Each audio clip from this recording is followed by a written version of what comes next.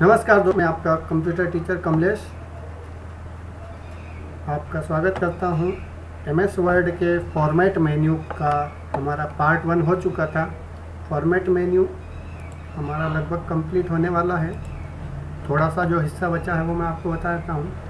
हमने columns breaks line numbers line number यानी कि कॉलम आपको समझ में आया? यदि नहीं आया हो तो आप जब न्यूज़पेपर पढ़ते हैं सुबह। तो आप कॉलम देखते होंगे उसमें, दो कॉलम में, तीन कॉलम में खबरें आती होंगी। एक कॉलम जब पूरा हो जाता है तो दूसरे कॉलम में स्टार्ट होती है लाइन वैसे ही यहाँ हम कॉलम बना सकते हैं। ब्रेक तो पेज ब्रेक करने के लिए होता है। लाइन नंबर्स यदि आपको लाइनों में नंबर डालना है, जैसे मैंने यहाँ पे लाइन नंबर डाल के आपको बताया था यदि आप कंटिन्यूस करेंगे तो पहले पेज से एक से शुरू होकर और लास्ट तक कंटिन्यूस जाएगा। यानी कि निरंतर चलता रहेगा नंबरिंग इकतालीस पहले पेज पे था फोर्टी वन और फोर्टी टू से शुरू हुआ था सेकेंड पेज लेकिन इसके बाद जब आप देखेंगे तो कंटिन्यूस नहीं करते। यदि रीस्टार्ट ईच पेज वाला ऑप्शन यदि आप लेते हैं तो रीस्टार्ट ईच पेज में, हर पेज में पहले से शुरू होगा। रिस्टार्ट ईच पेज भी आपने देख लिया। ऐसे ही दो चार ऑप्शन और हैं इसमें। उसके बाद हाइपनेशन यदि लाइन के अंतिम कोने में यदि कोई ऐसा शब्द आता है वर्ड आता है, जो बहुत ज़्यादा लंबा है तो बीच में एक संयोजक चिन्ह हम लगाते हैं लिखते टाइम। वही ये हाइपनेशन कहलाता है। यहाँ पर आप देख रहे होंगे सिलिकॉन बेस्ड में यहाँ पे एक चिन्ह लगा हुआ है लास्ट में साइन लगा है। और इसके बाद हम आ जाते हैं पेज बैकग्राउंड सेक्शन पे। पेज बैकग्राउंड सेक्शन यानी आपने देखा होगा कि वाटर मार्क वाटर मार्क क्या होता है मैं आपको बता दूँ। किसी बुक्स में, किसी मैगज़ीन में या किसी भी एक पेज में आपने कभी कभी प्रिंटिंग में देखा होगा कि जो डाटा होता है उसके बैकग्राउंड बैकग्राउंड में आपको कोई छपा हुआ एक अक्षर या उनका नाम, संस्था का नाम डाल सकते हैं। ये छपा हुआ मिलता आपको, जैसा कि इस पेज में आप देख रहे हैं हल्का हल्का सा हाईलाइट हो रहा है नीचे, पीछे पेज के पीछे की साइड, बैकग्राउंड में।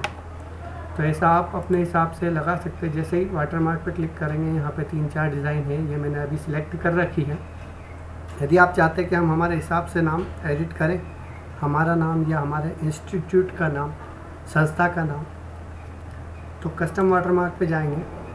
यहाँ पे तीन ऑप्शन है no watermark picture watermark and text watermark तो यहाँ पे हम पिक्चर वाटरमार्क भी लगा सकते हैं और टेक्स्ट वाटरमार्क भी लगा सकते हैं। अभी हम टेक्स्ट देख लेते हैं। टेक्स्ट की फ़ॉन्ट कौन सी रहेगी, ये हम यहाँ से चूज़ कर सकते हैं।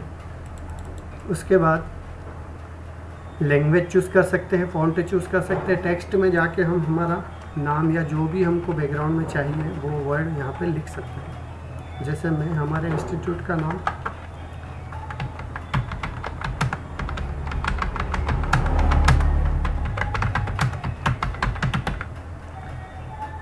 और यहाँ से फ़ॉन्ट साइज़ फ़ॉन्ट की स्टाइल आप चेंज कर सकते हैं। साइज़ आप अपने हिसाब से ले सकते हैं ऑटो कर सकते हैं या अपने हिसाब से। एक बार साइज़ लेके देखेंगे, तब पता चलेगा। इस फ़ॉन्ट का कलर क्या रखना है कलर भी चेंज कर सकते हैं। और आप यहाँ पे अप्लाई कर देंगे।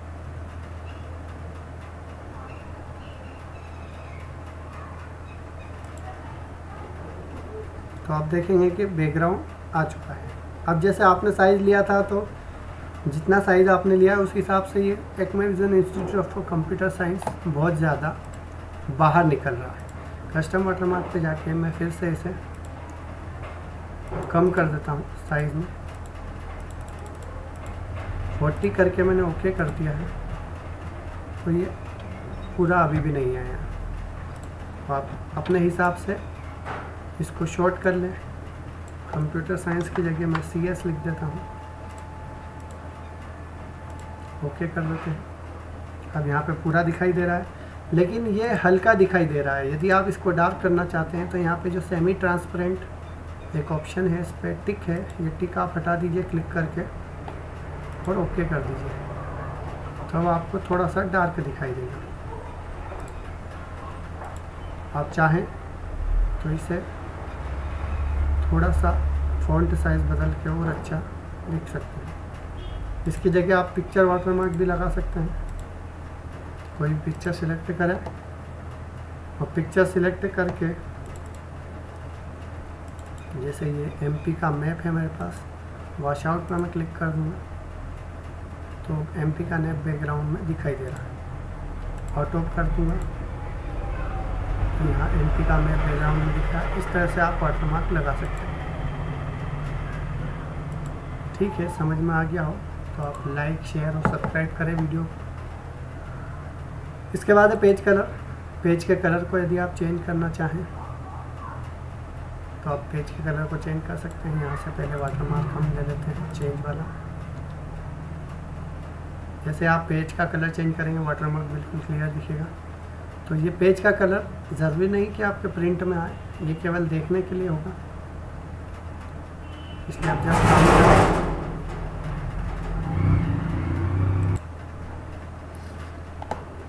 तो आप पेज कलर यहाँ से चेंज कर सकते हैं। वाटरमार्क का क्वेश्चन बहुत ज़्यादा आता है, जो लोग एग्ज़ाम देने वाले हैं उनके लिए। उसके बाद आता है पेज बॉर्डर तो बॉर्डर एंड शेडिंग ये बहुत ही महत्वपूर्ण टॉपिक है आईएमपी टॉपिक है एमएस वर्ड का। आप यदि पेज के ऊपर बॉर्डर लगाना चाहते हैं तो भी पेज बॉर्डर ऑप्शन में जाना पड़ेगा। यदि आप केवल कुछ लाइनों में या एक पैराग्राफ में बॉर्डर लगाना चाहते हैं तो भी आपको पेज बॉर्डर के अंदर जाना पड़ेगा। या फिर आप शेडिंग यानी कि जो अक्षर होते हैं, आपका टेक्स्ट होता है, उसको डार्क करना चाहते हैं। जैसे मैंने सिलेक्ट किया है तो यहाँ पे कलर आ गया है। ये शेडिंग बोलते हैं इसे। ऐसी शेडिंग यदि आप पूरे डॉक्यूमेंट में किसी भी जगह पर लगाना चाहते हैं तो पेज बॉर्डर पे जाना पड़ेगा। पेज बॉर्डर पे जैसे ही क्लिक करेंगे तो पेज बॉर्डर में तीन ऑप्शन खुलेंगे। बॉर्डर एंड शेडिंग नाम से आपका डायलॉग बॉक्स ओपन होगा। Page border border and shading page border में यदि आप डिज़ाइन लेते हैं जो आपको अच्छा लगे बॉक्स वाली डिज़ाइन सबसे ज़्यादा पसंद की जाती है। कोई भी एक डिज़ाइन ले लेंगे। और कलर आप आपके हिसाब से सेट कर सकते हैं। उसके अलावा थिकनेस आप मोटाई बढ़ा सकते हैं यदि उपलब्ध हो तो, तो ओके कर दें। तो आपके पेज बॉर्डर आ चुके हैं यहाँ इसके अलावा आप पैराग्राफ तो इस तरह से आप पेज बॉर्डर लगा सकते हैं। पेज बॉर्डर में और भी ऑप्शन है। यहाँ पे आर्ट नाम से एक ऑप्शन दे रखा है। आर्ट वाली आप कोई भी एक अलग से जो डिज़ाइन दी हुई है, फ्रूट वाली, ट्रीज़ वाली, या अलग तरह की बहुत सारी डिज़ाइनें दी हुई है, क्लॉक वाली दी हुई है, पेंसिल वाली दी हुई है तो ये वाली बॉर्डर भी आप लगा सकते हैं। इसके अलावा बॉर्डर जो पैराग्राफ में आप लगाना चाहते हैं तो आप उस पैराग्राफ को पहले सिलेक्ट करें।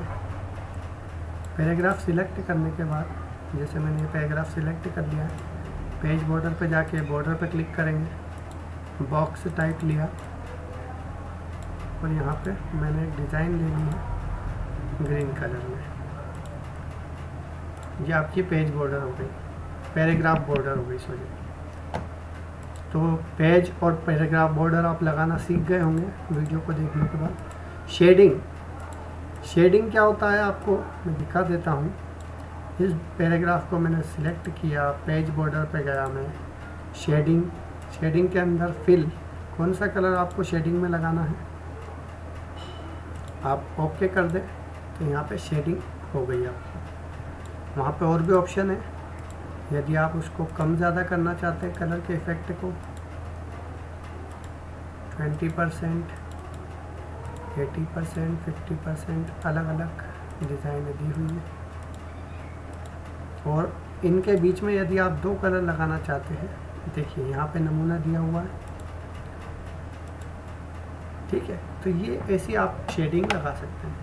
इंडेंट आखिरी जो कॉर्नर बचा है हमारा, वो पैराग्राफ इंडेंट और स्पेसिंग स्पेसिंग जो है, ये लाइनों के बीच की स्पेसिंग है, जो पैराग्राफ आपका सिलेक्टेड है, उसमें बिफोर या आफ्टर पैराग्राफ के पहले और पैराग्राफ के बाद में कितनी मार्जिन होना ज़रूरी है, वो आप यहाँ से निर्धारित कर सकते हैं। पैराग्राफ के पहले कितना गैप होना चाहिए पैराग्राफ के बाद कितना गैप होना चाहिए, ये यहाँ से देख सकते हैं। इंडेंट आपका जो टेक्स्ट शुरू हुआ, वो कहाँ से शुरू होगा, वो आप